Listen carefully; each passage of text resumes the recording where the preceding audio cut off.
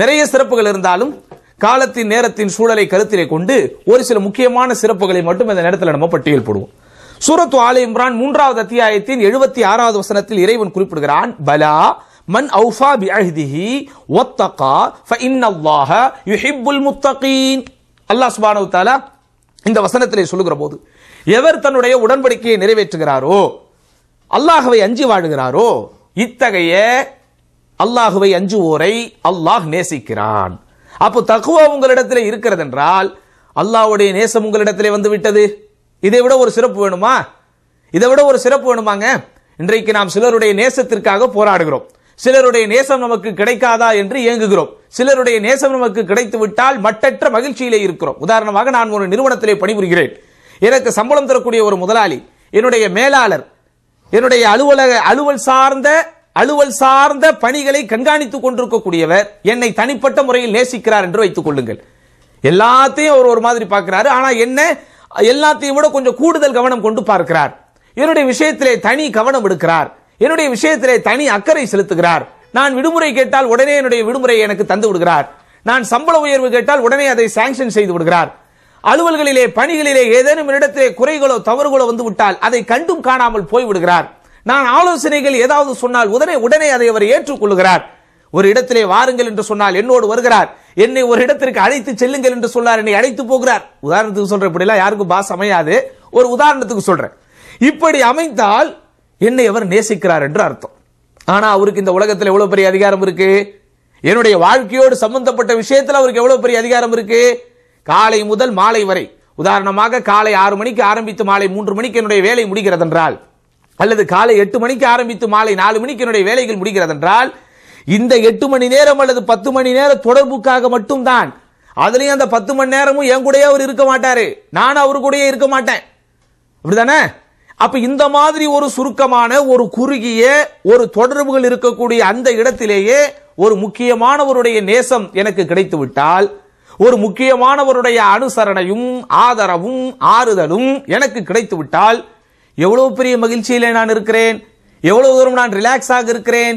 எவ்வளவு தூரம் நான் ஸ்ட்ரெஸ்லெஸ் ஆக இருக்கிறேன்? கொஞ்சம் யோசிச்சு பாருங்க. எல்லாருடைய வாழ்க்கையில் இது நடக்கிறது தான் எந்த மேனேஜர் உங்க மேல ரொம்ப அன்பா இருக்கிறாரோ உங்க மேல ரொம்ப கனிவா இருக்கிறாரோ உங்க விஷயத்துல கூடுதல் கவனம் எடுக்கிறாரோ உங்கள் விஷயத்தில் தனி அக்கறையை காட்டுகிறாரோ ஒரு நாள் உங்களை பார்க்காம அப்படி போயிட்டாருன்னு வைங்க. ஒரு நாள் உங்ககிட்ட பேசாம போயிட்டாருன்னு வைங்க. அன்னைக்கு புள்ள நீங்க மூட விட்டா இருப்பீங்க. ஆமாங்க வழக்கமாக எந்த கரிசனத்தை நான் பெற்றுக் கொண்டிருக்கிறேனோ அல்லது என்ன மாதிரியான ஒரு சலுகைகளை நான் அனுபவித்துக் கொண்டிருக்கிறேனோ என்ன மாதிரியான ஒரு மன சந்தோஷம் எனக்கு ஏற்பட்டுக் கொண்டிருக்கிறதோ அதிலே ஒரு தடையோ ஒரு தடைக்கல்லோ ஒரு தடுமாற்றமோ வந்து விட்டால் எனக்கு மூட் அவுட் ஆயிருது. என்னால நிம்மதியா சாப்பிட முடியல. என் மனைவி மக்களோடு சிரிச்சு பேச முடியல.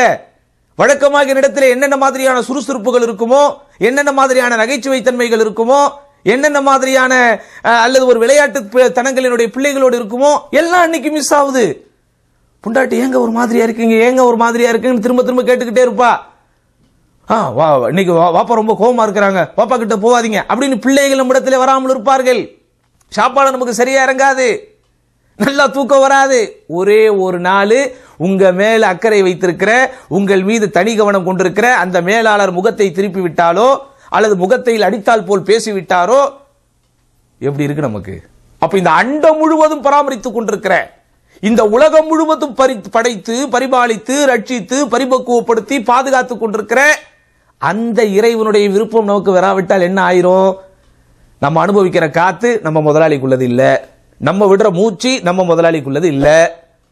அப்படிதானங்க நம்முடைய மனதிற்குள் வரக்கூடிய சந்தோஷம் சங்கடம் அது அவருக்கு நமக்கும் சம்பந்தம் இல்ல. எனக்கென்று சில தனி பிரைவசி இருக்குமே. அந்த பிரைவசிக்கும் அவருக்கும் நிச்சயமாக தொடர்பு எதுவும் இல்லை. ஆனா அவர் மூஞ்ச திருப்பிக்கிட்டா நமக்கு கஷ்டமா இருக்குது. அவர் நம்ம கிட்ட பேசுனா பேசலன்னா நமக்கு மூட் அவுட் ஆயிருது. ஒரு மஷூரால ஒரு சபையில ஒரு ஆலோசனை கூட்டத்தில் நம்ம சொல்லக்கூடிய ஆலோசனை அவர் எடுக்காமல் எடுத்தறிந்து பேசிவிட்டால் அன்னைக்கு எனக்கு தூக்கம் வர மாட்டேனுது ஆனா என்னுடைய வாடையிலும் கோடையிலும் என் வாழ்வு சம்பந்தப்பட்ட அனைத்திலும் என் உறக்கத்திலும் எல்லாவற்றிலும் தலையிடுகிற இறைவன். அவனுடைய நட்பை அவனுடைய அந்த முகப்பத்தை நாம் பெறணுமா இல்லையா? அப்ப அந்த அல்லாஹுடைய முகப்பத் உங்களுக்கு வேண்டும் என்றால் உங்களிடத்தில் தக்குவா என்கிற இறைச்சம் இருக்க வேண்டும். அடுத்து சூரத்துல நாம் ஆறாவது அத்தியாயத்தின் நூத்தி ஐம்பத்தி ஐந்தாவது வசனம். வஹாதா கிதாபுன் அன்சல்நாஹு முபாரகுன் ஃபத்தபிஊஹு வத்தகு லஅல்லகும் துர்ஹமூன். அல்லாஹ் திருமறை குர்ஆனிலே சொல்கிறான் இதோ இந்த வேதம் நாம் இறக்கி வைத்தது. இது அருள் நிறைந்த வேதம். இந்த வேதத்தையே நீங்கள் பின்பற்றுங்கள். இறைவனை அஞ்சுங்கள். உங்களுக்கு ரஹ்மத் கிடைக்க கூடும் இறை அருள் பெறக்கூடும். இது தக்குவாவினுடைய தனிச்சிறப்பில் முதல் சிறப்பு என்ன? இறைவனுடைய நேசம். இரண்டாவது சிறப்பு ரஹ்மத் அல்லாஹ்வுடைய அருள். கொஞ்சம் சிந்தித்து பாருங்கள் அல்லாஹ்வுடைய அருள் நமக்கு கிடைக்காவிட்டால் வாழ்க்கை இருளாகத்தான் நிச்சயமாக இருக்கும். பாலை தாங்க நம்ம ஊத்த முடியும். பாக்கியத்தை அல்லாஹ் தான் ஊற்ற வேண்டும். அப்ப நான் எவ்வளவு சம்பாதித்தாலும் அந்த சம்பாத்தியத்தின் மூலம் எனக்கு மனநிறைவு வர வேண்டும் என்றால் நான் கட்டிய மனைவியின் மூலம் நான் பெற வேண்டிய இன்ப இன்பங்களை பெற வேண்டும் என்றால் நான் பெற்றெடுத்த பிள்ளைகள் மூலம் எனக்கு மனநிறைவும் மன நிம்மதியும் வர வேண்டும் என்றால் யாருடைய அனுக்கிரகம் வேண்டும்? யாருடைய அருள் வேண்டும்? அந்த அல்லாவுடைய அருள் வேண்டுமா இல்லையா? அப்ப அல்லாஹ் சுபானத்துல திருமறை குரானிலே சொல்லுகிறான் நீங்கள் இறையச்சத்தோடு இருந்தால். இறையச்சத்திற்கு அர்த்த அர்த்தத்தை உங்களுக்கு நான் சொல்லிவிட்டேன் ஏற்கனவே. இறையச்சம் என்றால் என்ன? எந்த நிலையிலும் இறைவனுக்கு மாறு செய்யாமல் வாழ்வது. எந்த நிலையிலும் இறைவனை மறக்காமல் வாழ்வது. எந்த நிலையிலும் பாவகரமான காரியங்களிலே ஈடுபடாமல் எப்போதும் இறை நினைப்போடும் இறைவன் நம் மீது சுமத்திருக்கக்கூடிய கடமைகளை கட்டளைகளை நிறைவேற்றும் தன்மையோடும் இருப்பது. அப்ப அப்படி இருந்தோம்னா நமக்கு முதல்ல அல்லாஹனுடைய அன்பு கிடைக்கிறது இரண்டாவது அல்லாஹனுடைய ரஹமத் என்கிற பேரருள் கிடைக்கிறது. மூன்றாவது சூரத்து நகல் என்கிற அத்தியாயத்தின் நூத்தி இருபத்தி எட்டாவது வசனம். இந்த வசனத்தில் அல்லாஹ் சுபானு தஆலா சொல்லுகிற போது இன்னல்லாஹ தகவ் வல்லதீன ஹும் நிச்சயமாக எவர்கள் இறைவனை அஞ்சி முஹ்சின்கள் என்கிற பரோபகாரிகளாக இருக்கிறார்களோ? எஹ்சான் தன்மையோடு இருக்கிறார்களோ? நல்லவர்களாக இருக்கிறார்களோ? அவர்களோடு அல்லாஹ் இருக்கிறான். அப்ப இந்த வசனத்தின் மூலம் இறைவன் என்ன சொல்கிறான்? யாரிடத்தில் இறைச்சம் இருக்கிறதோ அவர்கள் தான் எஹ்சான் என்கிற அந்தஸ்தை அடைந்தவர்கள். எஹ்சான் என்பது சாதாரணமானதா? எவ்வளவு பெரிய அந்தஸ்து? உசூலு சலாசா என்கிற மூன்று அடிப்படைகள் என்கிற இமாம் முகமது அப்துல் வஹாப் ரஹிமஹுல்லாவுடைய நூலை படித்தவர்களுக்கு தெரியும். அதில் இமாம் அவர்கள் ரொம்ப விரிவாக பேசியிருப்பார்கள். ஹதீஸ் ஜிப்ரீலை ஆதாரமா- ஆதாரமாக வைத்து. ஹதீஸ் ஜிப்ரீல் என்றால் ஜிப்ரீல் இஸ்லாம் அவர்கள் மனித உருவிலே நபிகள் நாயகம் சல்லா அலிஸ்லாம் அவர்களுடைய சபையிலே சஹாபாக்களுக்கு முன்னிலையிலே வந்து முட்டி போட்டு அமர்ந்து பெருமானார் சல்லல்லா அலிஸ்வரிடத்திலே இஸ்லாம் என்றால் என்ன ஈமான் என்றால் என்ன எஹ்சான் என்றால் என்ன என்கிற மூன்று கேள்விகளுக்கும் கேள்வி கேட்பதைப் போல் கேள்வி கேட்டு ரசூல் சல்லாஹிஸ்வரிடத்திலே பதிலை பெற்று உடனே அதை நம்பிக்கை கொண்டு மார்க்கத்தின் அடிப்படைகளை அல்லாஹுவின் மூலம் கற்றுத் தந்து விட்டு போகிற ஒரு அற்புதமான சபை அந்த ஹதீஸ் ஜிப்ரீல் என்பது. அந்த ஹதீஸ் சம்பவம் முடியும் போது உமர்ல இருந்தா அவருடைய அறிவிப்பாளர். இப்போ சொல்லுவாங்க உமரே வந்து போனவர் யார் என்று உங்களுக்கு தெரியுமா? எங்களுக்கு தெரியாத அல்லாவுடைய தூதரை. அல்லாவும் அல்லாவுடைய தூதரும் தான் அறிவார்கள். அப்புறம் ரசுல்லா சொல்லுவாங்க ஹாதா ஜிபிரீலு அசாக்கும் லியு அல்லிமக்கும் தீனக்கும். இதோ இது ஜிபிரீல் உங்களிடத்திலே வந்து உங்களுடைய மார்க்கத்தை உங்களுக்கு கற்று தந்து விட்டு போயிருக்கிறார். அப்ப இந்த ஹதீஸ் ஜிப்ரீல்ல இந்த மூன்று விஷயங்கள் வரும். இஸ்லாம் ஈமான் எஹ்சான் இதை இமாம் முகமது அப்துல் வஹாப் தம்முடைய நூலிலே குறிப்பிடுகிற போது மராத்திபுத்தீன் என்று சொல்லுவார். மார்க்கத்தினுடைய கிரேடுகள் அந்தஸ்துகள் என்று சொல்லுவார். கலிமா சொல்லி ஒருவன் உள்ளே வந்து விட்டால் அவன் முஸ்லீம் என்கிற முதலாவது அந்தஸ்தை பெறுகிறான்.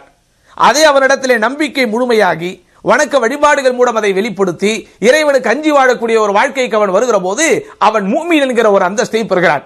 முஸ்லிம் என்கிற அந்தஸ்தையும் தாண்டி முக்மீன் என்கிற அந்தஸ்தையும் தாண்டி முஹ்சின் என்கிற ஒரு அந்தஸ்தை அவன் எப்போது அடைவான்? அன் தஅபுத அல்லாஹ கஅன்னக தராஹு இல்லம் தக்குன் தராஹு ஃபைன்னஹு யராக்க அல்லாஹவை நீ தொழுகிற போது அல்லாஹ் உன்னை பார்க்கிறான் என்கிற உணர்வோடு நீ தொழ வேண்டும். நீ அவனை பார்க்காவிட்டாலும் அவன் உன்னை பார்த்து கொண்டிருக்கிறான் என்கிற உணர்வு உன்னிடத்திலே மேலோங்க வேண்டும். அது அது அது சாதாரணமாக எல்லாராலையும் முடியாது. முடியாதுங்க சாதாரணமா? ஒரு அலுவலகத்தில் நீங்கள் உட்கார்ந்து கொண்டிருக்கிறீர்கள். உங்களுடைய மேலாளர் அப்படியே ஒரு ரவுண்ட்ஸ்ல வர்றார். அவர் வராருங்கிறது உங்களுக்கு தெரிஞ்சு போச்சு. அப்படி நீங்கள் எப்படி உட்காருவீங்க? ஹாயா உட்காருவீங்களா? பர்ஃபெக்டா உட்காருவீங்களா? உங்களுடைய டேபிள் அப்படி நீட்டா தர்த்தீபாய் இருக்குமா? ஏனோ தானோன்னு இருக்குமா? உங்களுடைய செல்போன் உங்களுடைய கையிலோ அல்லது உங்களுடைய காதிலே இருக்குமா? அல்லது அது இருக்க வேண்டிய இடத்திலே இருக்குமா? உங்களுடைய லேப்டாப் அல்லது உங்களுடைய கம்ப்யூட்டர் எல்லாத்தையும் கரெக்டான பொசிஷன்ல வைப்பீங்களா? இல்லையா? உங்களுக்கு அருகாமையில் குப்பைகள் இருக்க விடுவீர்களா? உங்களுடைய ஆடைகள் கொஞ்சம் முறையற்ற மாதிரி இருக்கிறத நீங்க அனுமதிப்பீங்களா? மேனேஜர் வர்றான்னு உங்களுக்கு தெரிஞ்சிருச்சுன்னா உங்களையும் அறியாமல் ஒரு பர்ஃபெக்ஷன் வந்து உங்களிடத்திலே ஒட்டிக்கொள்ளும். அது நீங்க பர்பஸா செய்யறதில்ல. அப்படி அவர் அவரே அது எல்லாத்திலையும் நோண்டி கேட்க போறதும் இல்லை. ஆனாலும் அது இயற்கையிலேயே நாம் வளர்த்து கொண்ட ஒரு எத்திக்ஸ் எது? நம்முடைய மேலாளர் நம்மளை பார்க்க வர்றாரு அப்படிங்கிற உணர்வு ஒரு உணர்வு நமக்கு வந்துட்டாலே அவர் வந்து சொல்ல போறதே நீ ஏன் டீ குடிக்கிறேன்னு கேட்க போறதில்லை. நீ ஏன் தண்ணி குடிக்க போறேன்னு கேட்க போறதில்லை. ஆனா அவர் வர்றாரு தெரிஞ்சு அந்த டைம்ல நம்ம காஃபி குடிக்க மாட்டோம் டீ குடிக்க மாட்டோம். நம்ம கேபின்ல இருந்து எந்திரிச்சு போய் மத்துமக்கில் போய் கேன்டீன்ல போய் எதுவும் வாங்க மாட்டோம். இயற்கை தேவையை கழிக்க வேண்டும் என்கிற சூழ்நிலை வந்தால் சரி அவர் வந்துட்டு போனதுக்கு அப்புறம் நம்ம போய்க்கலாங்கிற ஒரு அட்ஜஸ்ட்மெண்ட்டுக்கு வந்துருவோம். அப்படிதானங்க? அப்போ இவர்களை எல்லாம் விட பெரும் முதலாளியாக இருக்கிற இவர்களை எல்லாம் விட பேரிறைவனாக இருக்கிற அந்த அல்லாஹு உன்னை பார்த்து கொண்டிருக்கிறான் அப்படின்னு நம்ம ஒரு ஃபீலிங்க்கு போகும்போது ஒரு எண்ணத்துக்கு போகும்போது எப்படியாப்பட்ட ஒரு பர்ஃபெக்ஷன் வந்து என்னிடத்தில் ஒட்டி கொள்ளும் அந்த பர்ஃபெக்ஷன் யாரிடத்தில் இருக்கும் என்றால் இரையச்சம் கொண்டவர்களிடத்தில் தான் இருக்கும்ங்கிறாள் அதுதான் எப்படி அல்லாஹ் சொல்லுகிறான்? அல்லதீன தகவ் வல்லதீனஹும் முஹ்சினூன். இரையச்சம் கொண்டார்களே அவர்கள் தான் முஹ்சின்கள் என்று அல்லாஹ் சுப்ஹானஹு வ தஆலா இஸ்லாம் ஈமான் இஹ்சான் என்கிற அந்த உயர்ந்த படித்தரத்தை அல்லாஹ் கொடுப்பது யாருக்கு? இரையச்சம் கொண்டவர்களுக்கு. அப்ப இதையும் நம்ம இரையச்சத்தினுடைய தனிச்சிறப்பாக புரிந்து கொள்ள வேண்டும். அதே போன்று பாருங்கள். அல்லாஹ் சுபானத்தில் சூரத்தில் ஆராஃப் என்கிற அத்தியாயத்தின் முப்பத்தி ஐந்தாவது வசனத்திலே குறிப்பிடுகிறான். யா பனி ஆதம இம்மா யத்தி என்னக்கும் ருசுலும் மின்கும் யகுசூன அலைக்கும் ஆயாத்தி ஃபமனி தகா வாஸ்லஹா அஸ்லஹா ஃபலா ஹௌஃபுன் அலைஹிம் வலாஹும் யஹ்சனூன். ஆதமின் மக்களே உங்களிடத்தில் உங்களில் உங்களிலிருந்தே தூதர்கள் வருவார்கள். உங்களுக்கு அவர்கள் என்னுடைய வசனங்களை ஓதி காட்டுவார்கள் மார்க்கத்தை எடுத்து சொல்லுவார்கள். சரியா? இது பொதுவான பாயிண்ட் ஃபமனித்தகா இந்த மார்க்கம் எடுத்துச் சொல்லப்படுகிற போது யார் அதை ஏற்றுக்கொண்டு இரையச்சத்தோடு இருக்கிறாரோ? வாசுலஹ சீர்திருத்திக் கொள்கிறாரோ? ஃபலா ஹவுஃபுன் அலைஹிம் வலாஹும் யஹ்சனூன். அவர்கள் அச்சப்படவும் மாட்டார்கள் கவலைப்படவும் மாட்டார்கள். இது சாதாரணமாக வாழ்ந்துட முடியுமா? அச்சமும் கவலையும் நம்மிடத்தில் இருக்க போய் தானங்க இன்னைக்கு நம்ம வந்து எப்படி வாழ்றோம் இன்னைக்கு? அச்சமும் ஒரு கவலையும் ஒரு பயமும் நம்மிடத்தில் இருக்க போய்தான் நம்ம என்ன செய்கிறோம் நம்முடைய ரொம்ப நம்ம யோசிக்கிறோம். இப்படிதானா? ஆஹா இந்த வருமானம் நமக்கு இல்லாட்ட என்ன ஆகுறது இது நமக்கு கிடைக்காட்ட என்ன ஆகுறது அப்படின்னு ஒவ்வொரு நாளும் அச்சத்தோடும் பயத்தோடும் இருக்கிறோம். அல்லாஹ் நமக்கு நான்கைந்து பிள்ளைகளை கொடுத்து விட்டால் ஆ அந்த பிள்ளைகளை எப்படி நம்ம வளர்த்தெடுக்கிறது? அதுவும் பெண் பிள்ளைகளை கொடுத்து விட்டால் இவர்களை எப்படி நாளைக்கு கட்டி கொடுப்பது? சொந்த வீடு இல்லையே வாகனம் இல்லையே. கவலை கவலை கவலை. பயம் பயம் பயம். இந்த மாதம் நமக்கு சம்பளம் வராட்டா வாடகை கொடுக்க முடியாத? யோசித்து பாருங்கள். நியாயமான கவலைகள் தான் நியாயமான பயங்கள் தான். ஆனால் இரையச்சம் என்பது உள்ளே போய்விட்டால் அவனுக்கு அந்த பயமே இருக்காது. அதுக்காக அவன் சோம்பேறியாக சம்பாதிக்காம இருக்கிறான் என்ற அர்த்தம் கிடையாது. குல்லை யுசீபனா இல்லா மாக்கச்சபல்லாஹுலனா எங்களுக்கென்று எங்கள் இறைவன் எதை விதித்தானோ அதை தாண்டி எதுவும் நடக்காது என்கிற ஆழமான அந்த தத்துவத்திற்கு அவன் தன்னை உப்பு குத்தி கொள்வான். அவன் அலற மாட்டான். அவன் பதட்டமடைய மாட்டான்.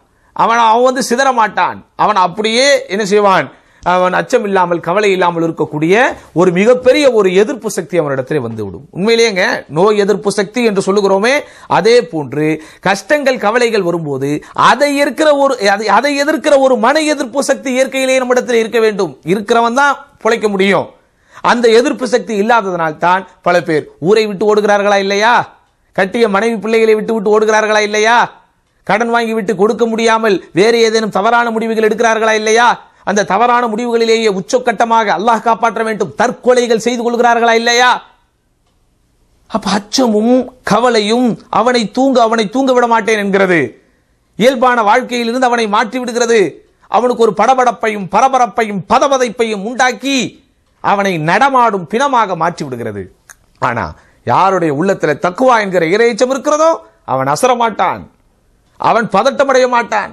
அவன் ஒரே அடியாக பயப்பட மாட்டான். அல்லாஹின் மீது தவக்கல் வைத்து தவக்கல் வைத்து விட்டு அவனுடைய வாழ்க்கை அப்படியே போய்கிட்டே இருக்கும்.